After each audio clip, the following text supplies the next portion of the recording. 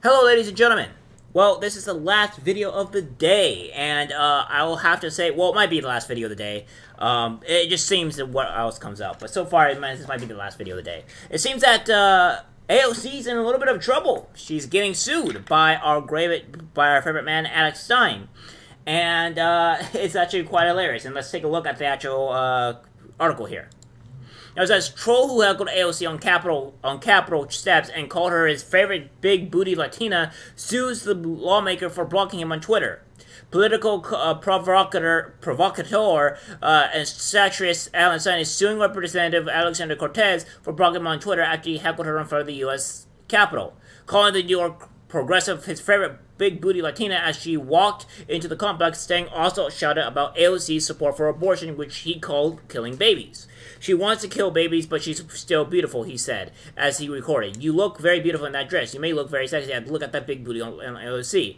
Now, here's the thing. Um, you, some people may be up in arms for this, but of course you're going to have what they did something very similar to this. The left did very something very similar to this um, to Donald Trump here, where uh, Trump uh, can't block critics from his Twitter account at uh, uh, uh, Court Appeals rules. So um, that being said, it says here that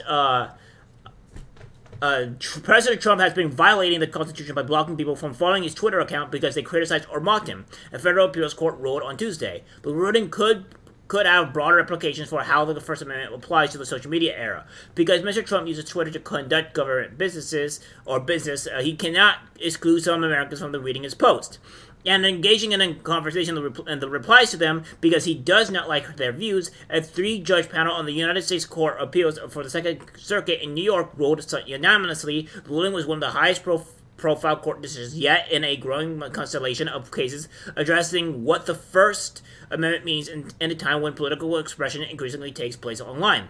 It is also a time, Judge Barrington D. Parker wrote, when government conduct is, subject to a wide open, robust debate that generates a level of compassion and intensity the likes of which have rarely been seen.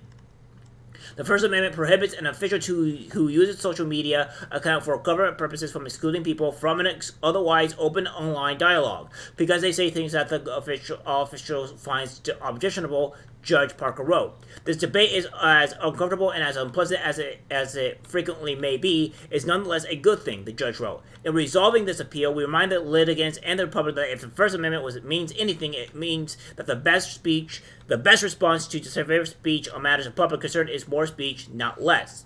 So yeah, that's pretty much what they did. They did it for Trump's Twitter. Um, uh, so yeah, they did it for Trump's Twitter. They the same thing, pretty much same case are pretty much identical. The only difference is it's just with AOC and not Trump.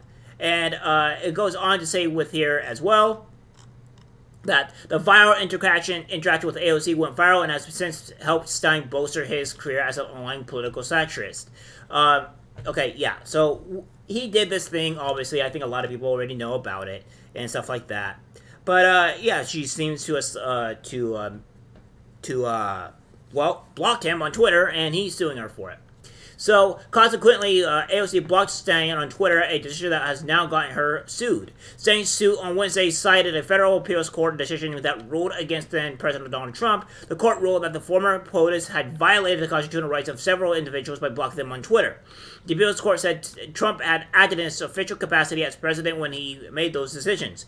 Days following that ruling, which came in November of 2019, AOC apologized and settled the case with former Brooklyn Assemblyman Dov Hikind, whom she had also blocked on account of critical response to her, to her tweets. She ultimately lifted to the block of on Hikind and admitted that she that he has a has a First Amendment right to express his views and should be blocked should not be blocked for them. Saying this, uh, hoping for a similar case outcome with this suit. He said he doesn't have any hard feelings for AOC. Added that he is not looking for a monetary settlement out of the case, which was filed in a U.S. District Court in Washington D.C. I would really like to have her unblock me, he said, saying that that would allow him to communicate with her. Yeah, and um, again, these are these are things that uh, that AOC has um, has done um, to Donald Trump and stuff like that. So it's just, just uh, uh, It's just uh, part of the course. If AOC decides to battle the case in court, she would be reopening the same set of issues and arguments that were previously litigated in terms of whether political figures have the right to prevent, certain people or groups from following them online. In 2021, the Supreme Court raised the Second U.S. Court of Appeals, ruling that Trump has violated the First Amendment rights of the individuals he had blocked. The High Court ordered the case he just he be dismissed as moot because Trump was by then no longer serving as president. The Supreme Court's order meant that the second uh, Second Circuit's ruling could no longer be used as a precedent uh, precedent for similar cases in which elected officials have blocked Twitter followers. Stein's, Stein's case will also likely be handled differently because it stems from statements he made to AOC in person, not online.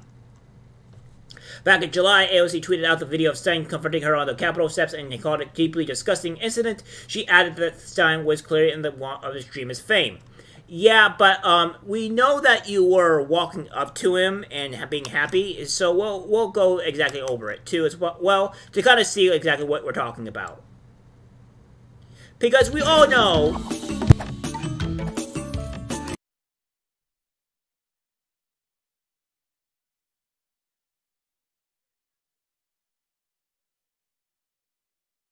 that was what's going on.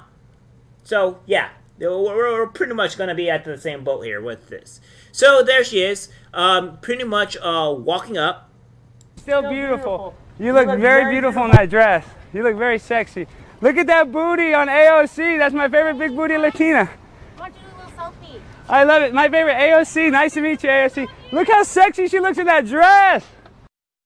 Yeah, going up, doing a peace sign and all that stuff, and well, it didn't seem like she was uh, disgusted or at all. She seemed to really like it or enjoy the, well, obviously the uh, the uh, uh, what's what's the word um, uh, attention that she was getting. There we go. I was actually walking over to deck him, deck him because if no one would protect us, then I'll do it myself. She together, but I needed to catch a vote more than the case today. Uh, yeah, because you because what was shown in that video just now really showed that you were going to deck him. Yeah. Mm-hmm. Of course. The suit said that Stein blocked AOC in retaliation to Mr. Stein's exercise of his First Amendment rights because earlier that day, Mr. Stein, in the context of political commentary and state, commented to Mr. Ms. Cortez. Mr. Mr. Stein has constitutional right to access Mr. Cortez's Twitter account as part of vigorous public comment and criticism. Reads the suit. Mr. Cortez presses uh, blocking Twitter uses. She disagrees with his unconstitutional, uh, with his, with with is unconstitutional, and this suit seeks to redress that wrong. State's Attorney Jonathan Gross in an interview said the provocateurs references to AOC's body were satire and the reference to her support for abortion is obviously political. My client is a political satirist, he said. Political speech, the Supreme Court has said, is the highest level of protected speech. Regardless of what Stein said, Gross, ar Gross argued AOC does not possess the legal right to block him on Twitter, saying also defended his comments, saying he didn't he didn't really want to disrespect her. It was the most gracious way I could say it, he added, claiming he was really complimenting her. It goes on to say that Stein also said he was inspired to sue AOC after news of the of the House of Ethics Committee investigation into her office that has now extended into her appearance at the 2021 Met Gala. She has been accused of accepting off-limits gifts in the form of her designer tax, the rich gown, as well as her handbag, shoes, and jewelry for the event. Other items such as transportation, hotel fees, hair, and makeup, as well as other as an outfit for her boyfriend, also factored into the investigation. I think ethically, AOC is kind of playing fat and loose, said Stein, admitting to that he wants to get her attention. Yeah, and uh, things are not going too great for AOC over here, all right? A things for AOC are seeming to really going down. Being having an, an investigation starting from the FEC, and now being sued by uh, Alex Stein for obviously doing the same thing that Trump did. Uh, that now is happening to you. So I, I think that it's uh, or that you're doing to Alex Stein.